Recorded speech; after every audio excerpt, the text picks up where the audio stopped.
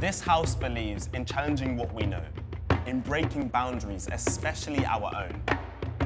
This house is not just a building, it's a global platform, far greater than our floor plan. An invitation to all to experience a new blueprint for arts and culture. Backing newness, championing openness, nurturing creativity, empowering ideas,